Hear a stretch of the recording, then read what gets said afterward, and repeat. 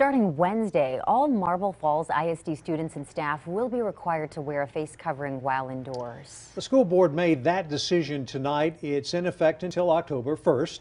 The board will have to vote again if they want to extend the mask mandate requirement past that date. There are currently 134 active cases of COVID-19 um, among students in the Marble Falls district and within staff members in the district.